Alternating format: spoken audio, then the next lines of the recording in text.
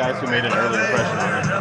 You know, I tell you what now, James Bailey has got a chance to be a special player, I believe. You know, I know he's just a sophomore, but James got a chance to be a really, really good football player. You know, he can cover in space, uh, he's big, he's physical, he can come off the edge, and so, you know, we'll be able to play some man-free coverage without putting nickel DB in the, in the game with James, and that's been uh, really exciting for me this spring.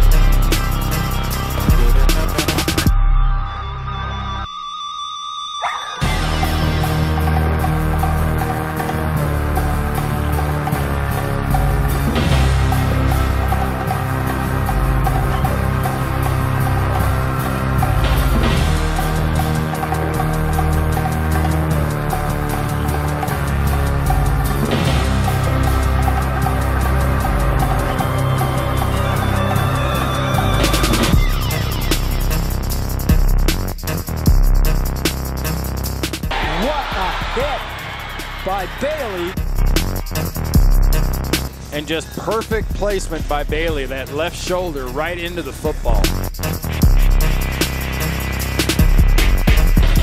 You know, when all the emphasis these days about targeting and illegal hits, and there's an example of a perfect hit right into the trunk of the player